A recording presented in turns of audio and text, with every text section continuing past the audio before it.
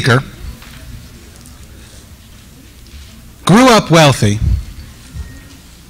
and then came over to the United States not so wealthy, with a firm resolve that he would, again, be quite wealthy.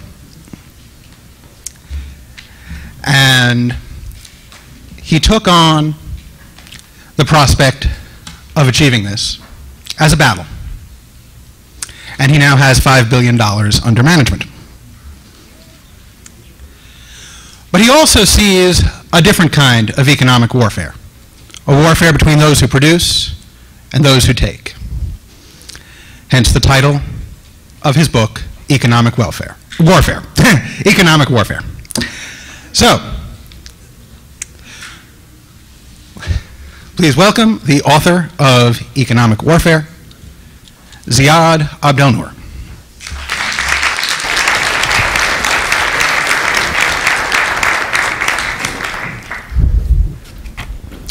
Thank you, Alex.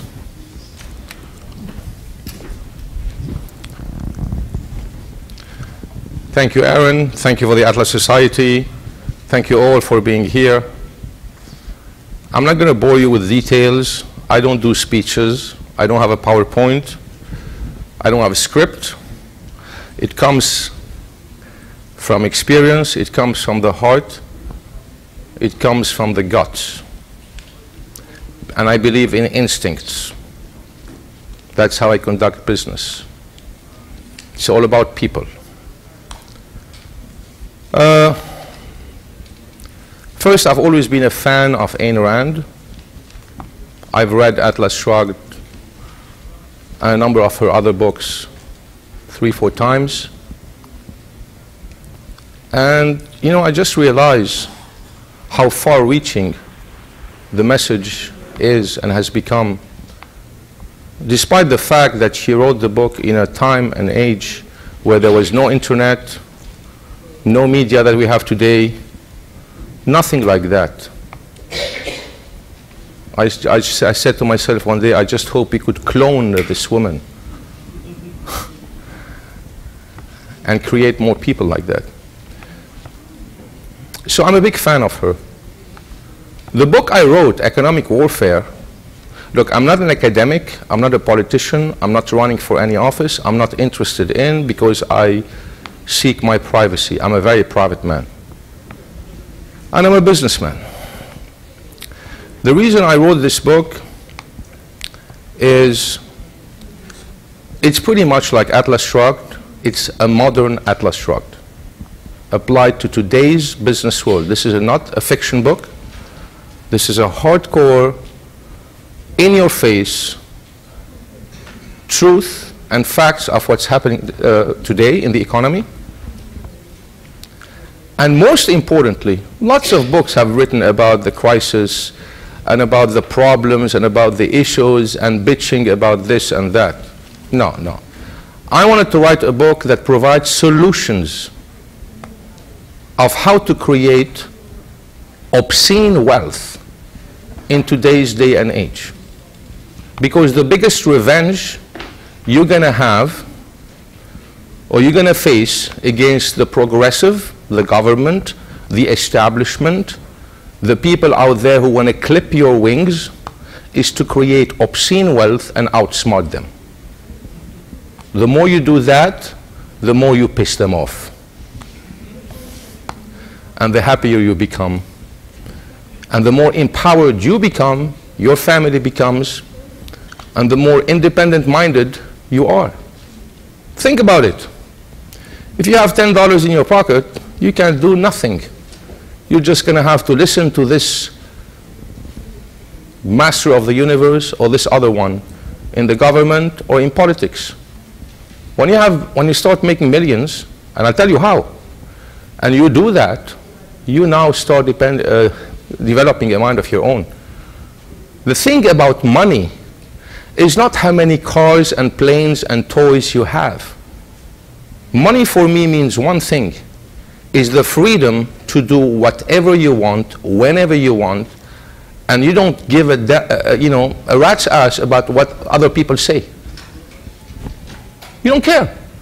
what the president is going to say, what Romney is going to say, what the government is going to say, what this is going to say. You have enough clout and resources to do what you want and to empower the world. It's freedom. It is exactly freedom. It's the ultimate freedom. Now, some people may have more billions than you or I or anyone, but they're not free because they are trying to rely or have an agenda or following this group or that group. You're gonna have to be free. And to be free in today's day and age, you have to create wealth. And to create wealth, you're gonna have to do your homework, real due diligence, and stop relying on all those egomaniacs who think they know anything and they don't know nothing. People tell me, you know, all these big guys on Wall Street. I'm a Wall Street insider. I've been there for 30 years. I've been in the trenches. You know, from JP Morgan to Goldman Sachs, they're so smart, they're so big, they're so this. They're not. If they were so smart, the Goldman Sachs guys, they wouldn't have been bailed out at the tune of $5 billion. They have been bailed out. My company has not been bailed out. Who's smarter? All these guys have been bailed out, so they're not that smart. So stop listening to them. Stop listening to the mumbo jumbo they say. Stop listening. Do your own due diligence.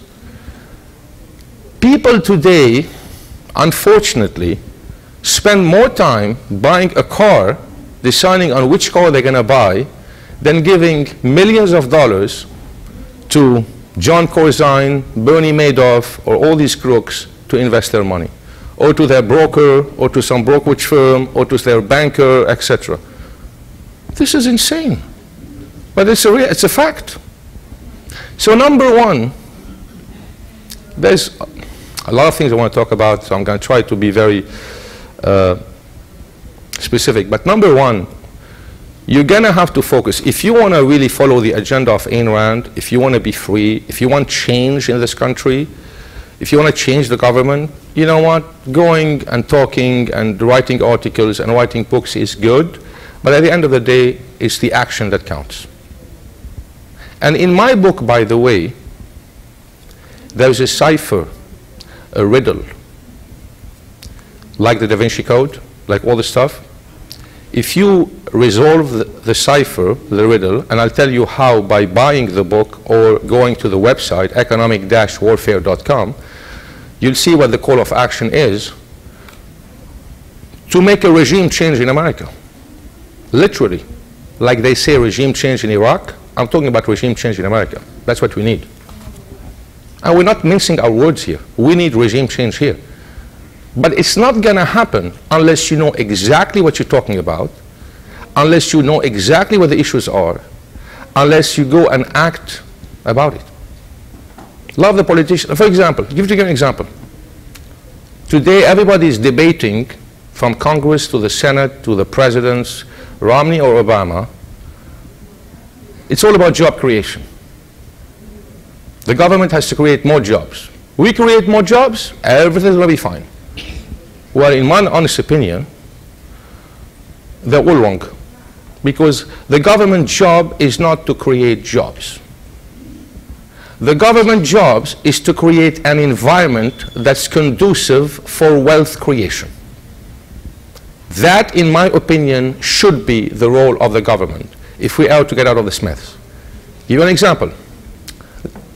Today, we have 5 million plus millionaires in America. That's all. People with net worth of $1 million and more. Assets, cash, whatever. I'd like to see a government congressman, senator, president, saying, my mandate over the next four to eight years is to create 20 million millionaires. What should the government do? What policies should they follow to create 20 million millionaires? How are we going to brainstorm this and create 20 million millionaires? The private sector job is to create jobs, not the government. Look at how many millionaires were created by doing the IPO of Facebook lots of them, or others, Google, lots of them. And they're going to be many more. These millionaires are going to create more millionaires, are going to start their companies sooner or later once they have the critical mass, and they're going to go forward. Success is about empowering people. Freedom is about creating wealth. These are the issues that should be addressed by the government, by the private sector, by business. They are not. They're all on the wrong track. In my personal opinion, they're on the wrong track. And they're getting bogged down with all these details that are useless and a total waste of time. More regulations, more bureaucracy, less competition, both the power and the money is in the hands of a fewer and fewer number of people, bailouts, bankruptcies. I mean, for example, you know, one small example, in this country, Chapter 11, there's no country in the world where there was a Chapter 11 other than the United States. Chapter 11 is giving the chance for people, for idiots and incompetents, to stay in power and, and have a redo again and again. The problem today in the United States is that we have a, a capitalism with a safety net. Capitalism shouldn't have a safety net. They want to cap your upside, and if you screw up, they're going to bail you out. So people in power, they can make, take as many weeks as they want. They know they're going to be bailed out. And now they're going to cap your upside because they think the government, they have a divine right to appropriate or distribute wealth which according to, to Ayn Rand, when she talks about wealth redistribution, the people who decide how they're going to distribute the wealth think that they own that wealth. The government thinks that this is their money, yours. And they could redistribute it the way they want. To make a long story short, I don't believe in a capitalism with a safety net. You can make as much money as you want, or as you can, based on the research and the due diligence you do and the capabilities that you have. That's capitalism. The people, the great people who built this country, this nation, the robber barons of last century, Rockefeller, Morgan, Carnegie, that's how they were. Steve Jobs, Larry Ellison, Mark Zuckerberg, Bill Gates, that's how they are. We need more people like that, bigger than life, who do their homework, who work hard, and who go create wealth and nobody should tell them how they spend their money and how their money should be kept. On the other hand, all the hedge fund managers, all the Wall Street bankers, all the other banks, when they want to take undue risks, they screw up, they should be out of business. AIG, Citibank, Merrill Lynch, or if we didn't bail out, if we didn't, if we bail, if we didn't bail them out, nothing would have happened. We would not have had $16 trillion in debt. They used the band-aid for someone who had a cancer. This is insanity. When you have cancer, you extract it. You have to hurt. Oh, no American wants to be, get hurt. Oh, please don't hurt me. Americans just want to be entertained. I just want to have fun. They'll go to the movies, they watch a movie, Avatar, $2 billion box office, a movie which means nothing, and they pay $2 billion for that, for the box office. But you know what? Working too hard, I don't want to do that. No, it doesn't work like this. No safety net. When people know that if they screw up once and they're out, they're going to work much harder. They're going to do much harder diligence. They're going to become much more competitive, much more, much more intense, and they're going to be richer. That's the process of wealth creation. Very few people understand it. And those who do are academics. Look, who is the culprit in all this stuff? People keep asking me the question, who's the culprit? Is it Wall Street? Is it the government? Is it us, the people?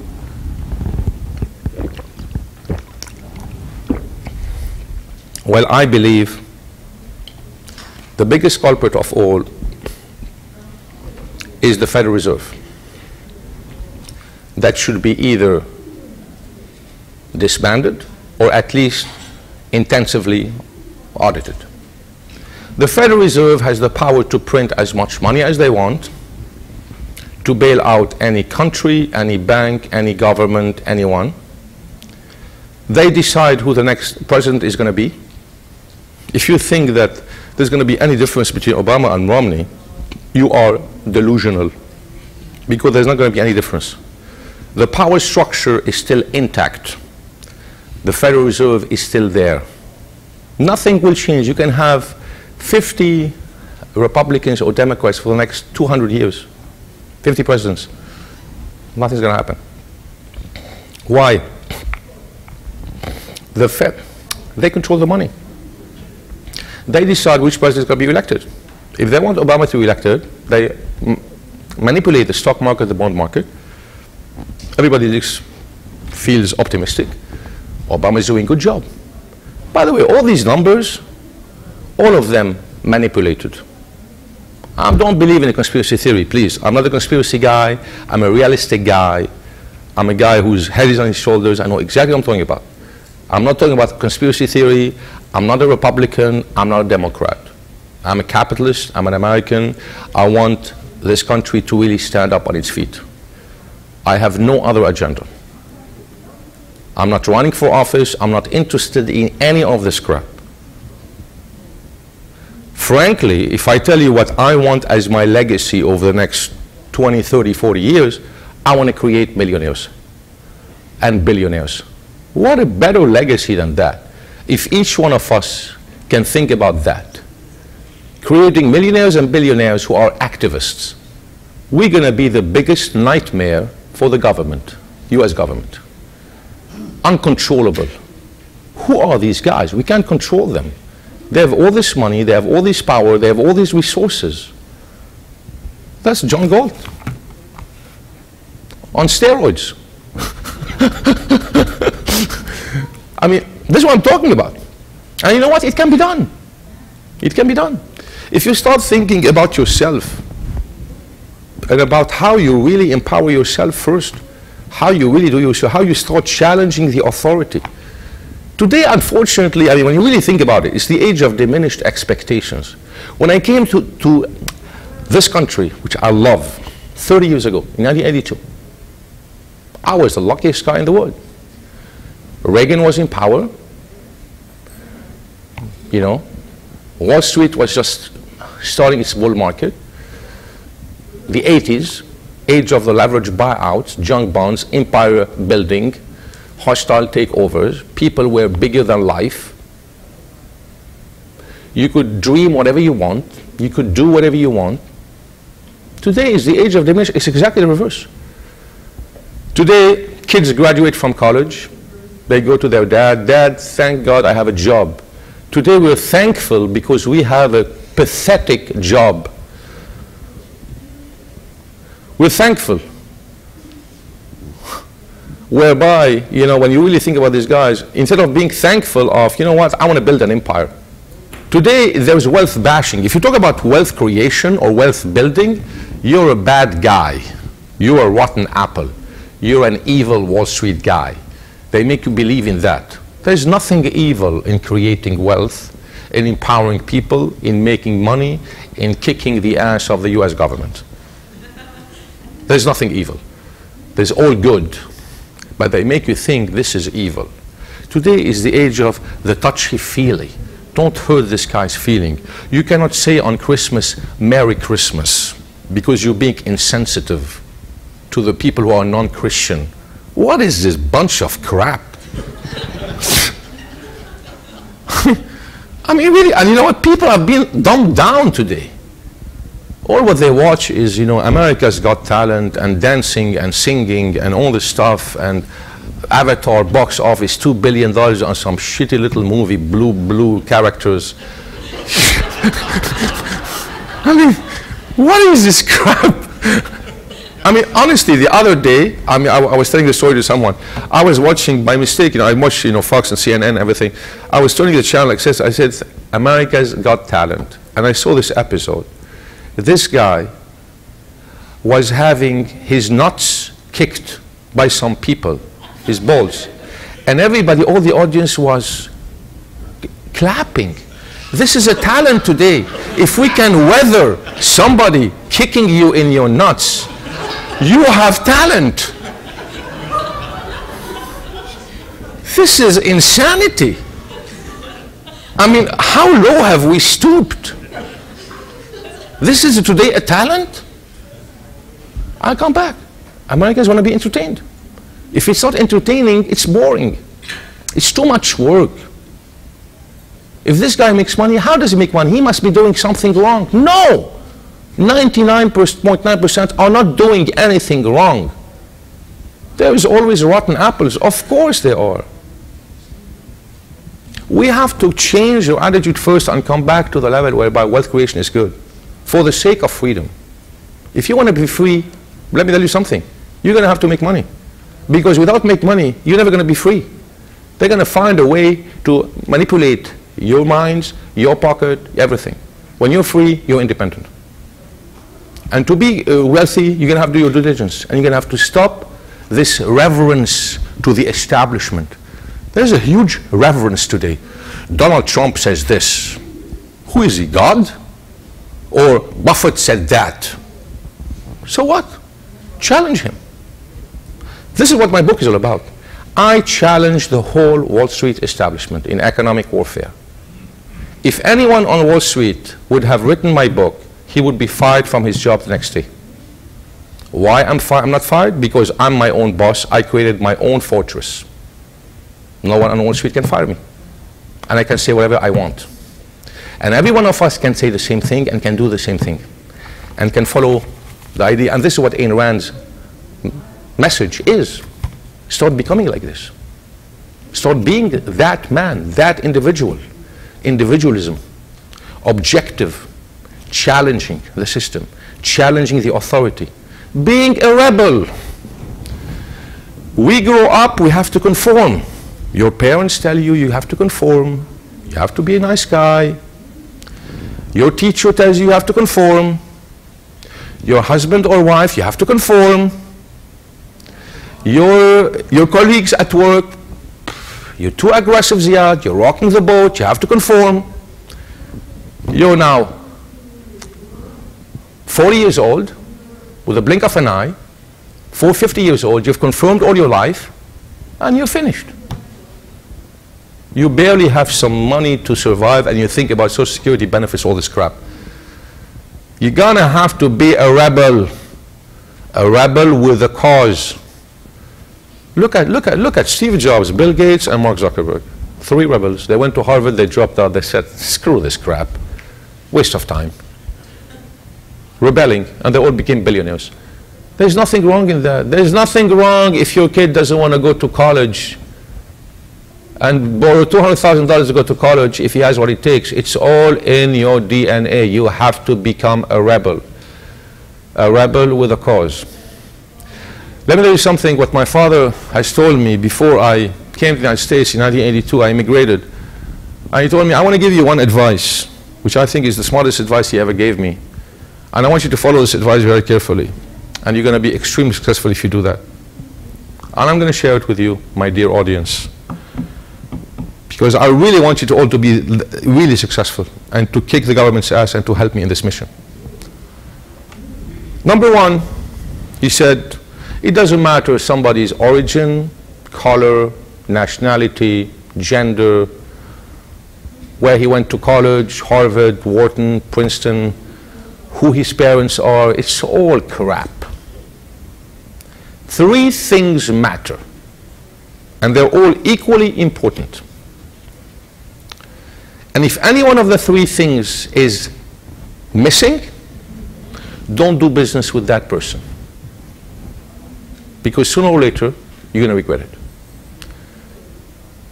And I followed his advice. At the beginning, I didn't follow his advice. I didn't pay attention exactly. I was too young and too inexperienced. Then I realized, you know, I started thinking about it with years and said, you know what, he's so right. My God, it works every time. What are those three ingredients? Number one, guts. Anybody who doesn't have the guts and brass balls to challenge the system, to challenge people, will pull you down with time, will temper you, will bring you down. Oh, you cannot do this. Oh, it's too much. You don't, you don't want to rock the boat. No, no, you're gonna have to rock the boat. You're gonna have sometimes to sink the boat and build a new one. That's how much. So anybody without guts, waste of time. Two, equally important, brains. Now, if you have the guts and no brains, you're a loose cannon. and if you have the brains and no guts, you're a bureaucrat. There's zillions of them.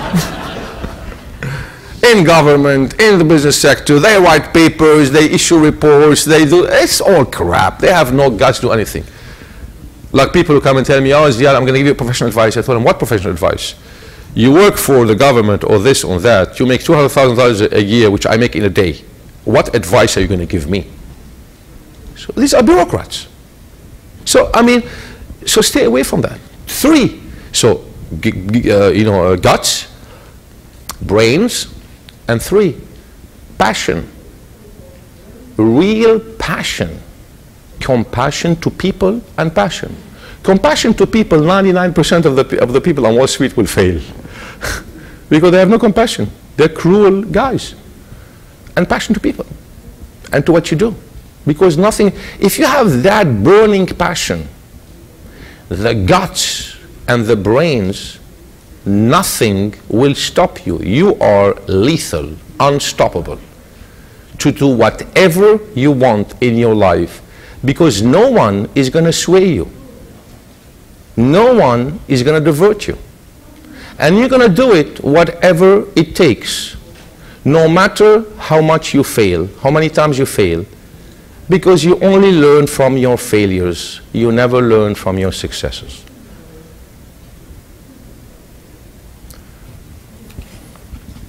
This is what this book is all about, economic warfare.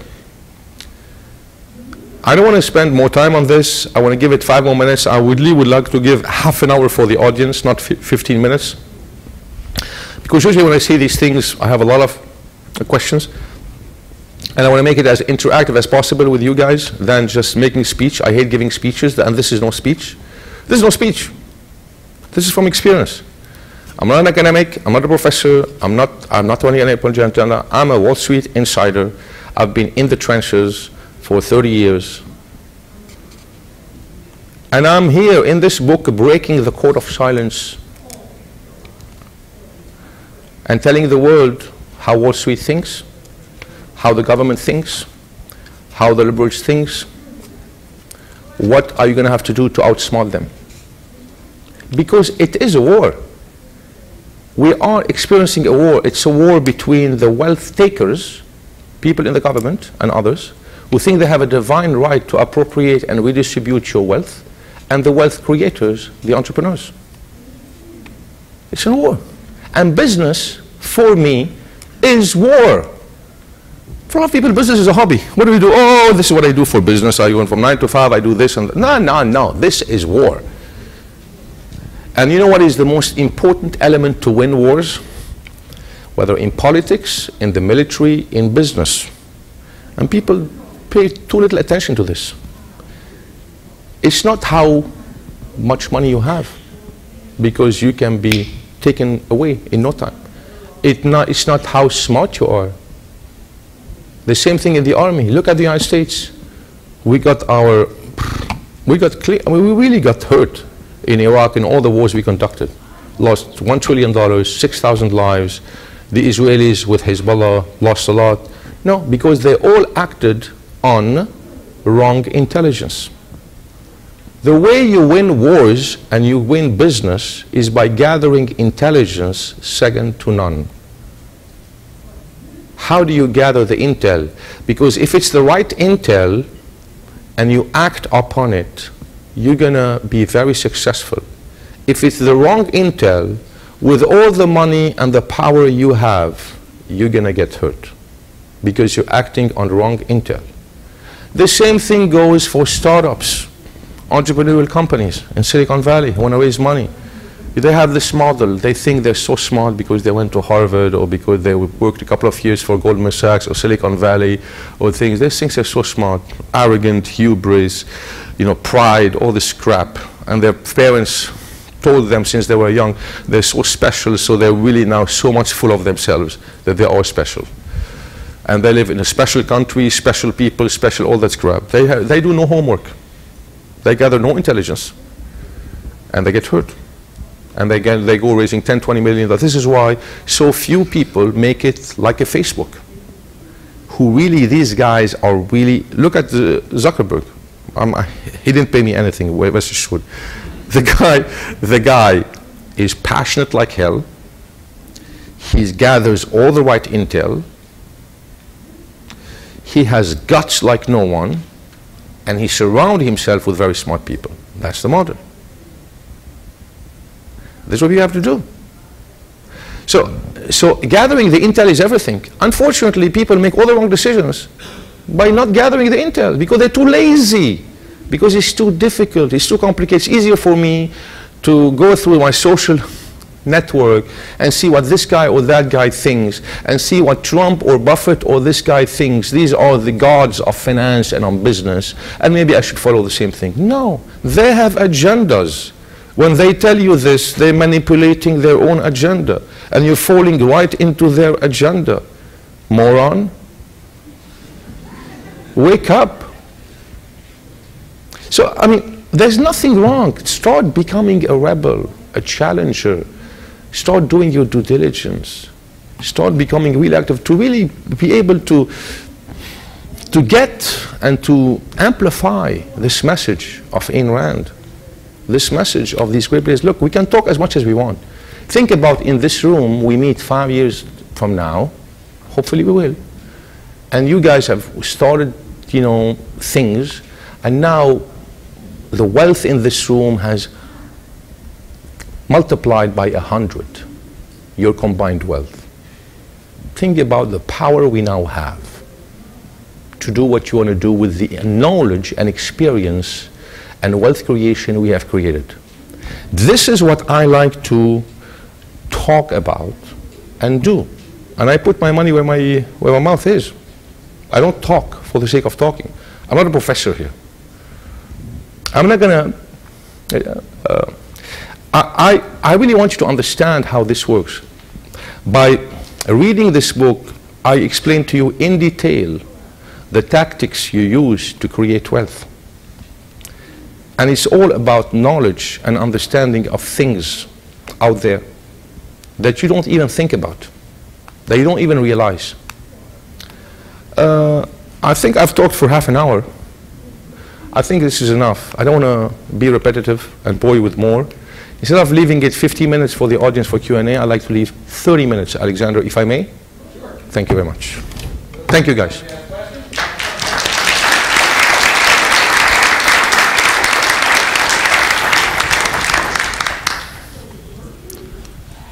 Thank you for the talk. Very inspirational. I um, see that there are three things I should be dealing with people that have guts, passion, and brains.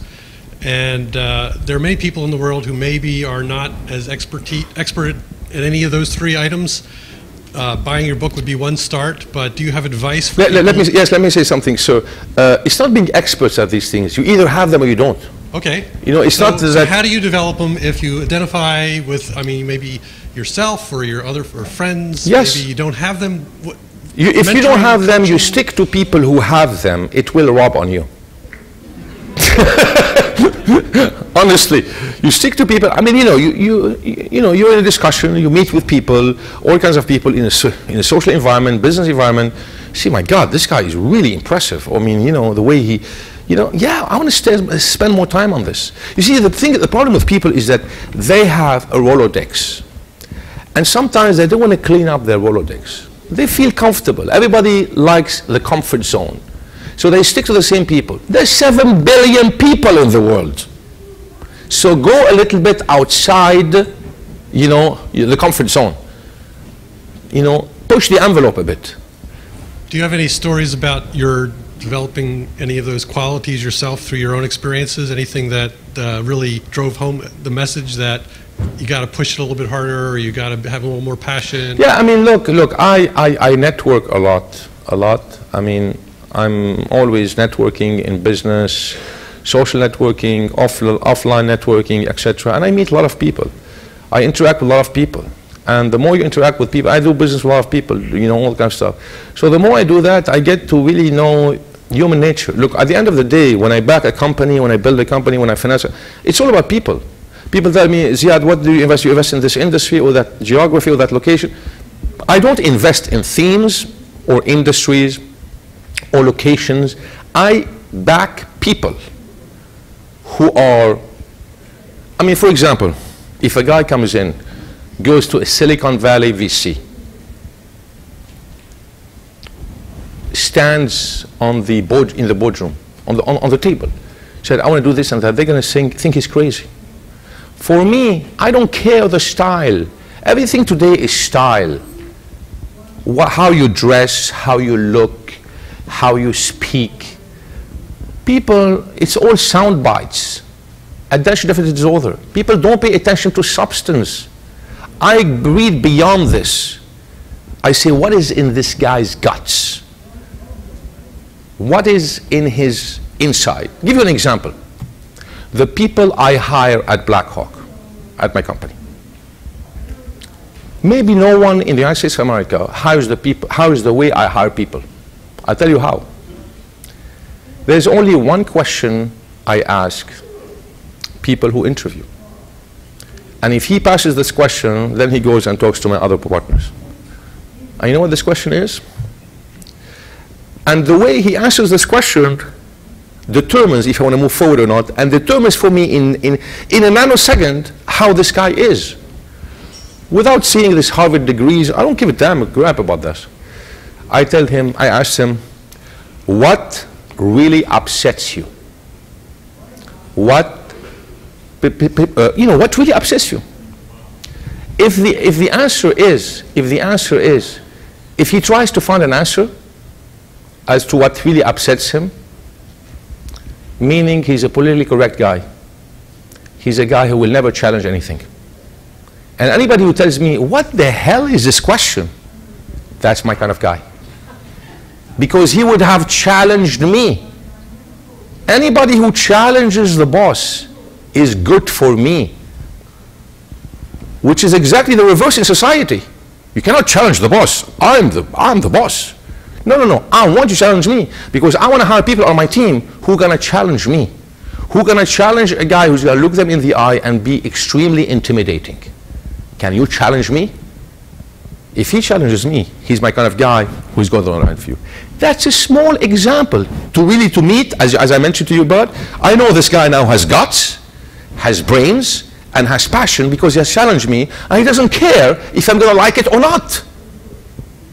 One question, which sometimes it takes, going to take some people six times, six months to interview back and forth. I don't have time for this. Next. Guillermo Pineda, uh, I had a question regarding the role of the entrepreneur. Uh, regarding what? Us, the role of an entrepreneur and the way he takes the ethical decisions every time. Uh, all of us that have had at once, at, at, least once, a small business and then, then grew it, we reach a point in which we have to take a moral decision either to, are we going to do business with someone or not? And I can imagine, I'm not sure if it has happened to you, that at a certain point you had met this big bureaucrat who made lots of money out of draining the system and then went private and to invest all his money on what he had gained. And maybe he proposed you to do business with him. Would you consider like doing business with someone like that drained, uh, got his original money from government as a privilege, or maybe he worked for a um, I don't know, he got a monopoly or a small privilege. Would I'm sorry, do I don't understand your question exactly. Would, would I consider business? making money? Would would I consider making business? Yeah. yeah, would you consider doing business with someone who made his wealth from government or any type of privilege? Well, uh, I mean, number one, uh, anybody I do business with, I checked him out thoroughly. I will even know who his mistress is. Okay. That, th that much checking. But would you do business so, I mean, you know what, at the end of the day, if he does business with the government, if the money is clean, if his uh, background, his ethics is clean, and I will know, I will know. You cannot hide anything. Mm -hmm. uh, you know, then yes. If not, so it's not a question of the government. There's nothing, you know, the government, sometimes he has access to, uh, you know, big deals, contracts, etc. Yeah, why not? But he has to be of the highest integrity. Look, I'll tell you, uh, look, I, I, I deal with a lot of very wealthy people, very, very wealthy. And some of them come in here the, and they want to impress you. You know, I'm related to this prince, to this king. I, thought, I don't give a ass. You're not going to impress me and dazzle me by telling me this. I want to know who you are. And I want to know if you can challenge these guys, the princes and the kings. And I want to know if these guys are going to listen to you. I need to deal with the powers who can really affect change, move money, and get things done, not because their title is this and that. I'm not impressed by titles at all. I grew in wealth. I know what it is. But I need to know the character, the integrity, the passion, the, the brains of this guy, and how far can he go. That's what matters. It's people. It's all people. People don't give enough. You know, a lot of the guys, especially in Silicon Valley, they look at the technology. Oh, it's a sexy technology. Oh, it's an industry. Or I don't care. I don't care. Who are the people who are going to run the show? Who are the people who are going to stay on board when when it gets really tough? When the tough gets going? Who are the people who are going to stay on board when there's going to be a major, you know, setback? Can you withstand the heat? Can you withstand the pressure? Are you going to buckle under pressure or not? Or are you going to say, I'm sorry? There is no sorry. With me, there is no sorry. There is no sorry. There is no, it, it, there's no excuse for sorry. Because if I'm going to put my money in this, you know what? I, I structure deals whereby if I put my money in the deal, if things go wrong, you are going to hurt much more than I'm going to hurt. You are done. Next. Hi, uh, I'm a 21 year old from Guatemala as well. I wish I was and, 21. uh, And um, my question is, um, well, when it comes to raising funds for uh, starting a business, um, I'm sure more in Guatemala than here, it's it's really hard uh, for to get older people to believe in uh, in you being so young and uh, not even out of uh, university or. Uh, and we have much more um, dogma there, or we we um, and yeah, people investing want people with MBAs and a bunch of titles. And uh, what's the best advice you could give me? Number one, please do me a favor and stop being impressed with people with MBAs and all that stuff. Doesn't mean nothing. Okay? Honestly. Uh, so, look, there is a price to pay for everything. Unless you're a genius or you really have these three ingredients in a lot, you're going to have to go through the process. I do not recommend people to raise money from sophisticated investors until or unless they can show traction in what they can do. So anytime you have a good idea, you're going to have to find ways to bootstrap your business to reach a certain level where you can really show track record, traction. Once you can show track record and traction, then you can attract really big bucks to come after you because they believe in you, because you've shown what you can do. So, so you're gonna have at the beginning to find a way between friends, families, supporters, you know, angels, you know, as to give you the chance because you have those three ingredients. Show the passion. You see, come in here, show the passion. For example, I don't mind somebody coming to my office. Look, right now, you're sitting in a defense position, like this. No. I don't mind people who come to my office, sit on the boardroom, tell them, listen to me, I want to dominate that space. I want to absolutely rule the space. I want to obliterate the competition, and this is how I'm going to do it. One, two, three, four. Wow. That's the kind of guy. This guy is a killer. People today, because they teach you to conform, you don't want to go with this attitude. You want to conform. You want to be a nice citizen. That's wrong. If you believe that much in your idea, go and kill. Business is war. And show the guy that you really have what it takes to do with this, to execute on this. It's contagious. You're gonna, the really smart guys are to get you. And the guys who are not to get you, they're not worth it. Drop them. Let them, please, sir. Hey, once you show traction, He's not doing you a favor. You're doing him a favor. So don't be on the defensive. You want tactics? Don't be the defensive. Business is war.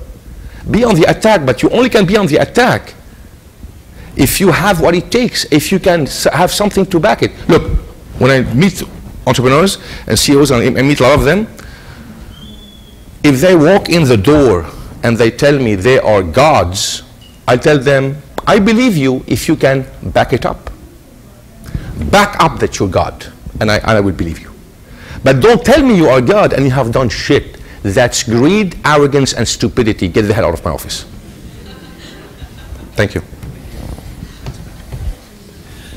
Hey, um, so you've talked a lot about freedom and wealth. I'm and sorry? You've talked a lot about freedom and wealth. Yes. And guts, brains, and passion as a way to achieve them. I'm curious where happiness is for you. That's happiness. I All tell you. For, no, I tell you. I mean, look. First, I mean, you have. I mean, as you can see, I'm a passionate guy. I love what I'm doing. I mean, people tell me you're going to retire. Then retire them from what? I'm having a hell of a fun. Retire in Florida with blue pants, yellow shirt, and uh, pink tie, and play golf all day long. That's not retirement. That's boring for me. so, I mean, to come back, to, I I will ask you a question. So, I mean, that's. I love what I do. So, happiness for me, by doing that, I'm happy. If you're not, I mean, look, I'm not telling you to be like either you are or you're not. But this is what makes me happy because it shows I'm happy, I make people happy, I empower people to be wealthy, to be happy, to empower more people to be the same. It's viral, it's lethal, it's powerful, it's addictive, it is beautiful. If you don't feel this, maybe you should be in a different business. But I mean, what is happiness? This is happiness. Happiness is like, for me, what is happiness? This happiness is what me and my family and my friends are self-sustained. They can say whatever we want without fear of anything or anyone because we've become so powerful that no one wants to mess with us. It's beautiful. Thank you. Thank you. Hi, uh, my is Ryan Breslow, Nice to and meet you. I'm going into college. And as someone who's really passionate about business and has those has those uh, attributes that you describe, and who knows it, and wants to become a Wall Street insider and go work on Wall Street, what advice do you have, and what's the path to take coming out of college? Look, it would be. Look, you, you have to do your homework. I mean, it, it's it's a long story. To be honest with you, to be honest, with you, answer you this in a in, in a one, it, it's a really long story. You really have to do your homework on that. But look, at the end of the day, the way I started on Wall Street, I decided, you know, I was reading the Institutional Investor, Institutional Investor, you know, the magazine. I saw the cover of this guy called Michael Milken, junk bond czar. That's how I started my career, selling and trading junk bonds in Drexel Burnham in Beverly Hills. I said, I want to work for this guy. I read his bio. So in fact, it's not that I want to do this. Go and find a role model on Wall Street. And go and unearth every single bit of information you can on him. And give him a call. I want to work for you. Why? One, two, three, four, five, six, seven. Wow. This is my guy. So don't, don't go for institutions. Don't go for walls and buildings and names. And you can find who is this guy out there who's really smart, who really is has integrity, has character, has a name on Wall Street, is is making a difference. Go after him. You go after him. You go do diligence, because this guy is a very smart guy. If you don't really know stuff that he doesn't know, you know, you're not going to be able to get to him. These guys put walls around them. They have handlers. You can't get to him like that. But you have, but everybody, you can get to anyone if you do your homework. Wow, this is his A- A- Achilles heel. Everybody has an Achilles heel. So find his Achilles heel and go after him. That's the best advice I can give you. Thank you. I've enjoyed your talk. Uh, you're you're quite a cheerleader for business, and you have obvious passion and uh, involvement with these, and uh, you, you really like to cheer us on. Thank you.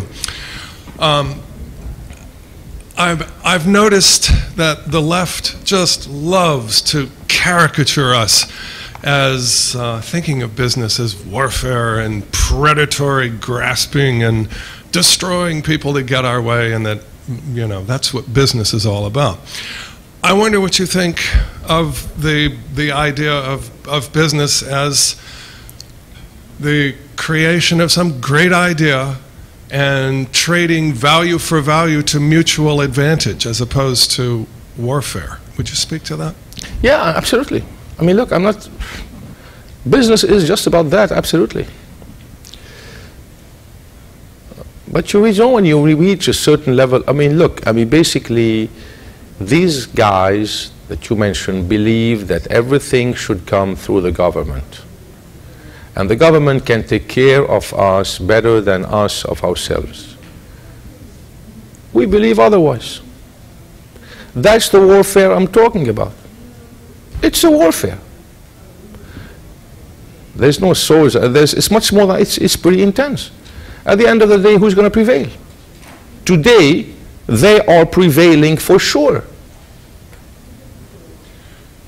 So the warfare to which you're referring really is. It's between the wealth takers and the wealth creators. which are- Okay, so looters and moochers on one side. Yep. And producers, rah, rah, rah. And wealth takers on the other side. Exactly. Okay. Exactly. Yes, sir. A couple of things, a statement. I, I don't think your book is out there, but it is for all the people here who have access to the Apple iBookstore. It is available there, so I'm letting them know. A little plug for you. But I don't think he's going to be able to autograph your iPad or your, or your iPhone. Uh, but aside from that, so I, I'm looking at the, the contents of your book, and the and you had. Uh, and I got a couple of part questions. You had Herman Cain and Mark Rowan write forwards to your book, and Mhm. they're very complimentary. Yep. First question is, why did you choose them? And then, second, given the state of the economy in the world today, how are we going to take advantage or, or, or get wealth out of the collapse of the European Union, the euro, and what should we do in the United States to preserve our wealth? Three-part question. Okay, stay there.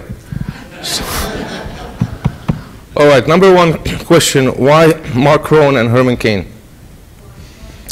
Mark Rowan was my classmate at the Wharton School, University of Pennsylvania, was my um, colleague at Drexel Burnham. Mark Rowan is uh, a self made entrepreneur. When he came to the Wharton School, we graduated the same year in 1984. He went there on scholarship, so he, he could not pay his tuition. Today, Mark Rowan is, is worth $1.9 billion. He's 48 years old. He created $1.9 billion in 25 years. He's one of my best friends. so, I've known him since college, since Drexel, on Wall Street, self-made billionaire, very humble, greatest integrity. Why not? And today, Mark Rowan runs Apollo, which he's the chief investment officer of Apollo Partners, is the largest private equity fund in the United States. He runs himself $128 billion. So what more? So if anybody from the Wall Street establishment is going to say, who the hell is this immigrant who's coming here to challenge the Wall Street establishment? Well, if I have Mark Rowan, who runs the largest private equity fund, who's writing my forward, I have Wall Street now, shut up. Yeah, they're in your poem. He's, and he does good work for you. Okay? Two, Herman Cain. Well, I, spend, I send my book, you know, guts to every single candidate, presidential candidate on the Republican side. I'm writing this book. This is going to open up a lot of things for you, so don't think you're doing me a favor. I'm doing you a favor by having you write my forward. Write my forward. Herman Cain was the first one to respond. He said, I love it. This is brilliant. And he wrote the forward. He's passionate. Uh, He's passionate, exactly, exactly what you said. He's passionate, he understands it. I don't care, he's black, he's pink, he's this, he's that. He is smart, he knew how to do it, mm, and he was very passionate about it. Did the other candidates come through with any kind of, anything else? Uh, I got a I got a yes from Ron Paul, but he was a bit slower, so I would have to wait a lot to get from Ron Paul, and I, and I was willing to wait, but you know then he got tangled in the you know the primaries and you know you know it, it, it wasn't the best time. It was, but it was when I did this was July August 2011, so they were really still in the middle of it all. But uh, I mean, look, I mean they're all good. I mean they're really all good. So I would have taken it from any one of them. But Herman Cain came very quickly, so that's why. So I said, you know, since this book, Economic Warfare, is about both the business world and the political world, I said I need a, a, two for forwards, one from the business world, one from the political world. Herman Cain was a presidential candidate. Uh, Mark Rowan, part of the business establishment. And the third one who wrote my introduction, Doug Wead, who was a presidential advisor to Reagan, Bush 1, and Bush 2. He was advisor to Reagan, Bush 1, Bush 2, and he wrote my introduction. So anybody now who's going to come and challenge me and put bullets into my ammunitions as to who are you, now I revert to him. Who the hell are you? That's it. Second question. Uh, remind me of your second question, please. European, European Union. Well, Euro European, Europe. Europe, Europe is in a mess and it's going to get more in a mess, and China's growth is going to get less. It's going to definitely affect us. The economy is going to get worse and worse. Don't believe any of this crap you see, you listen to. Stock market is uh, uh, manipulated. Everything is manipulated by the Fed. You know, they're going to do everything they can to re-elect Obama. They're going to use every ammunitions in their uh, in their in their artillery. It's not going to work because it's going to get so bad that any president will win over Obama. So Europe, I'm very pessimistic. But you know what? It doesn't mean. But you know what? Optimistic, pessimistic doesn't mean. that. You have to gather the intel. But based on the intel, even if Europe goes into destruction, you can still make obscene money if you know what you're doing. Whatever the side the market takes, up or down, right or left, you can make obscene money if you understand the markets. If you're a contrarian, you'll, oh, I'm going to lose. Yeah, the regular people who don't do any information, who rely on the big boys, are going to lose their money. But not you as the savvy operator who understands this. So it should not worry you if you have the equipment, if you have gathered the intel, if you have the baggage that I told you about. Shouldn't worry you. So what? Even if the whole world goes upside down, there's always ways of making money. You go short, you go long, you go dollar, you go yen, you go US dollar, you go gold, you go oil. There's so many ways of skinning the cat. Your third question? Was, what do we do in the United States as we get to this crash that we're coming? Well, number one, number one, number one, anybody here, I'm not, I'm not here recommending, forget about stocks, forget about bonds, forget about real estate for at least two, three years. Forget about it. Forget about all this crap. The only way to be is in the commodities business. Oil and gold bullion. The only business to be. I talk about it at length in my book, at length. That's why I take a look at it. Uh, I can't explain. It's, it's too, too long, you know, it's too long to explain. But forget about stocks, and bonds, and real estate. Real estate is not going to recover soon. Stocks and bonds, it's all, it's just all manipulation. Look, 16 trillion dollars in debt. The dollar has, dev- has devaluated 96 percent. You know, our position in the world, our economy, our, I mean, it's, it's, you know, look, look at you. You heard a couple of days ago. J.P. Morgan's losses, not 2 billion, 9 billion. You know, 9 billion. So everything they tell you is sanitized. It's sanitized crap. Don't believe anything of this. Do your homework and take your positions accordingly. And sometimes you have to be a contrarian and be against all what people say. Just do it. Just do it. If you have the right intel, yes, you can be right and a billion people wrong. Yes, you can. Or it's impossible, everybody thinks that. But people, because they don't have enough faith in themselves and their intelligence, that they don't believe that they can be right and a billion people long, uh, wrong. Yes, a billion people can be wrong, and more even. And you can be right. We have faith. All right, I want to th- thank Ziad for the non-speech and the conversation. And thank everybody for coming, and the next sessions start in 15 minutes.